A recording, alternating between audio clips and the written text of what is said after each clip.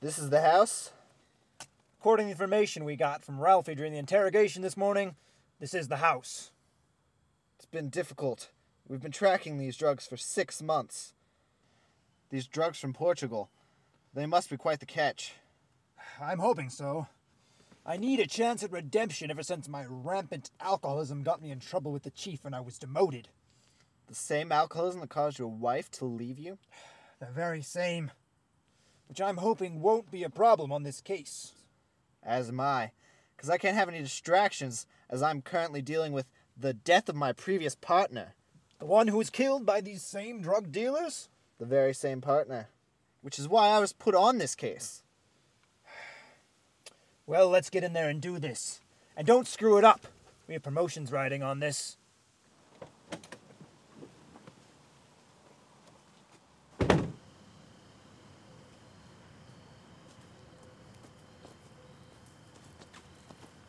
An open window. This could be our way in. It's easy. Too easy. Drug houses are usually better guarded. But this is our best shot. We gotta go. Lead the way.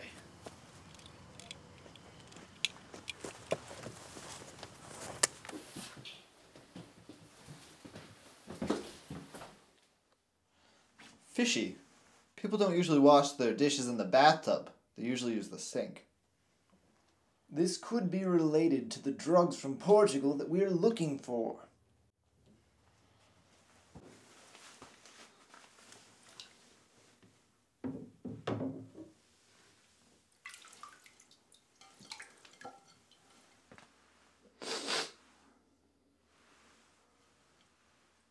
Yeah, that's the stuff. Hmm. The drug dealers must have found a way to condense the drugs into physical objects, disguising the drugs as household items to better circumvent U.S. custom laws about drugs. Yeah. Okay, I'm going to stay here and try to dissolve some of these plates into some physical evidence of drugs. And you go out and, and look for more drugs. Alright? I fail, don't expect me to come back. Right. Okay. Grab back. Don't drink that. Don't drink that. Like fell through the window. Like fine. Poor guy. Like we like went to the bathroom like fell through the window. Yeah, that was fun. You know. Yeah. Hey. I uh, like the uh, good plate. Um, so, um, bye.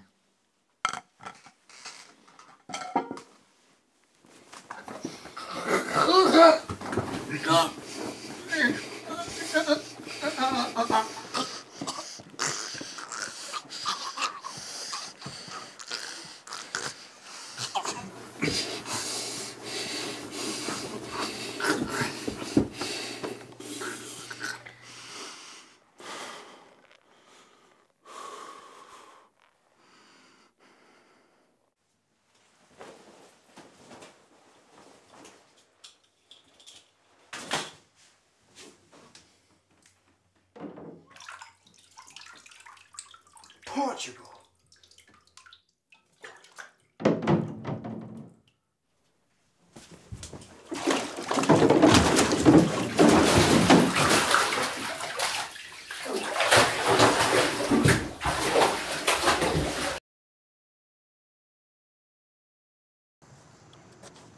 We were lucky to get out of there alive, buddy.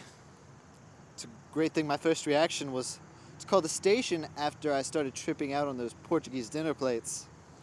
And a good thing that they sent reinforcements, since they couldn't understand a single word you were saying.